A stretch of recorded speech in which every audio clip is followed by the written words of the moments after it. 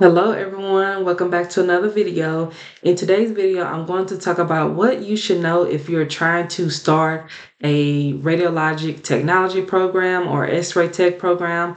So this is 2025 and what I will say is there has been a lot of changes, especially since COVID, you know, around 2019. A lot of programs are either hybrid now, meaning you would do some classes online, you know, probably some classes on campus, and then you will also have to do your clinical hours. Another change that I've seen have happened is the HESI exam. Whenever I took my x ray course back in 2010, I did not have to take the HESI exam, which I started the program in 2012, but I started my basic classes in 2010. I graduated in 2014, but for me to get into the x ray program, I did not have to take the HESI exam. I know a lot of people are deciding if they can get into a program or not based off the HESI exam. I know some people struggle to score high on that exam. Some people do well and they get in. Regardless, sometimes you may have a problem where it's just take a little bit to get into a program. Depending on what area you live in, it may be competitive if there are a lot of radiology students and the program is only taking like a certain amount of students. So that's another change for 2025. Another change that I've seen lately is a lot of hospitals or clinics do not require you to shield your patients anymore unless the patient is requesting it, if they're pregnant, you know, if you have like a younger pediatric child, or if someone is just used to having that shield and they want to have it. So it's been studies and research coming out just saying that the lead apron shield tends to get into the way of the anatomy, causing more repeats, and then it also can cause more radiation to the patient. So just check your company your company policy on that. If you're getting into X-ray school, check with your teacher to see what you have to do. Um, as far as whenever you're in clinical, do you need to shield your patients or not? Is it a certain age limit um, where you have to shield or stop shielding?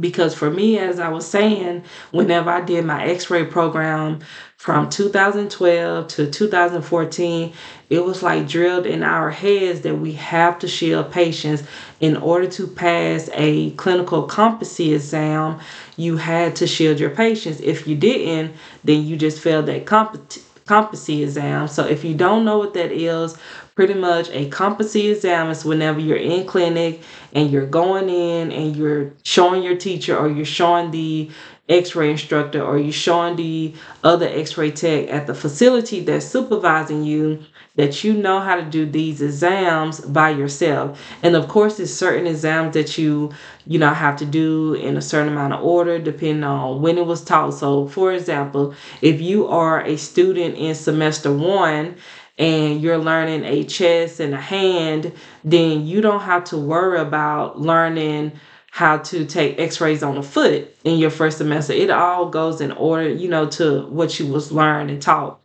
So um, there are other changes with x-ray. I will um, do a video in a second and just show you all what's on the ARRT website, which is who I have my license through. I am a radiologic technologist. I know there are um, LMRTs, which are the limited x-ray techs, and then you have the NCTs, which are the non-certified techs. So I will say another challenge may be is that whenever you're going in for your x-ray competencies, especially if you are going for a radiologic technologist, a lot of the skull, facial bones, orbits, um, a lot of those nasal bones, a lot of those go to CT now.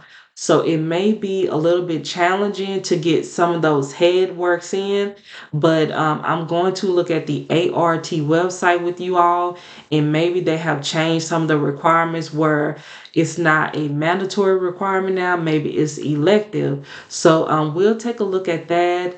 Also, let me know if you have any questions about any changes or updates. If you are thinking about x ray school, if you're thinking about what program is best for you, um, I would say just just go by uh, what you're interested in. Are you interested in getting an associate's degree? Are you interested in getting a bachelor's degree? It all depends on what your future goal is whenever you are in x ray. So, um, we will take a look at the x-ray website now but um, i'm sure this will be helpful for anyone depending on what board exam you're trying to take. So here we go in just a second. Okay so this is the ARRT website that i was telling you all about this is as you can see is effective in january of 2022 if there are any new updates all you have to do is just go to the ARRT website. So as we're scrolling down, we're going to scroll down until we get to the um, clinical portion because um, this part is very important so that you can be very prepared um, or better prepared for what exams you will have to complete, um, what's mandatory, meaning you have to get these exams, what's elective, meaning it's okay if you get these exams or don't get these exams. But i would just try to get as many exams as possible in because you never know. Depending on what clinical site you go to next they may not see a lot of exams. Whenever i was a, a student in clinical one hospital i went to we did nothing but chest x-rays and abdomen x-rays so i had to be moved you know rotated after that semester because I wouldn't have been able to get hand x rays, feet x rays, you know, different things like that. And then they also have check marks on the ARRT website for different things you can simulate, meaning you can use a mannequin to simulate. Sometimes, um, most of the time, the instructors will let you use a mannequin. I know at my facility, well, the school I went through, we had to use a mannequin. They wouldn't let us use each other because you have to keep in mind if you are using each other, then that person, you know, that other student would probably automatically put their body in the position that you're trying to position them for instead of you doing it from your own memory and knowledge. So uh, we'll look at the chest. The chest is like you know full chest x-ray. That's mandatory. So that's something that you have to get in. In x-ray i haven't seen any changes on um, there aren't a lot of chest x-rays coming in. Of course they still go to ct but they are still being done in x-ray. A lot of times the doctor will just order a chest x-ray first especially if a patient is being seen through the ER, then they'll just put in a portable chest or a chest x-ray. And if something is seen on that, or if they just want more information, depending on the patient's condition, or if it's getting worse, then they'll order CT scan. So chest is still mandatory. Having a wheelchair or stretcher patient for a chest is still mandatory. Your ribs are mandatory. If you cannot get ribs in, then you will have to um, do it under simulation. And then you have your your other things that's elective, meaning this is something that you get if you get it. If you don't get it, it's not going to stop you from getting certified. So that's what all the check marks are right here for these type of procedures. And then under extremity, you still have your thumb, hand, wrist, forearm, elbow, humerus, shoulder, clavicle being a mandatory exam. I have not seen any student unable to get these exams in. Of course, sometimes you may have to be moved to another facility uh, to get these exams. Your trauma exams will probably mainly come from a hospital setting and then you have your lower extremity, uh, which is not going all to CT. So it shouldn't be any problem getting these exams in that I'm talking to you about.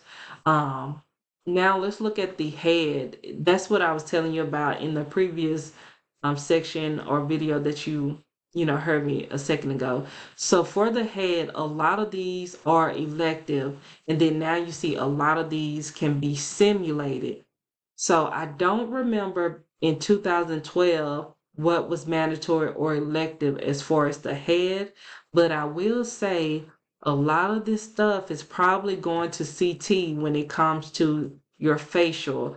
But recently I have seen students um, you know, try to do these exams whenever it comes in. If a patient come in and they have um, a nasal bone injury or a skull injury, sometimes whenever sometimes whenever a patient has to have an MRI scan, because I do MRIs as well, if a patient has to have an MRI scan and let's say they have an implant in or an aneurysm clip that they don't know if it's safe or not because the patient doesn't have an implant card, then a lot of times the radiologist will order a skull x-ray clearance or if they have a recent CT scan, they'll look at the CT head image. But if it's not showing the angles that they need to see if it's like any metal or if this will cause the pro- um, the patient any problems when they go over to MRI, then they will occasionally order a skull X-ray.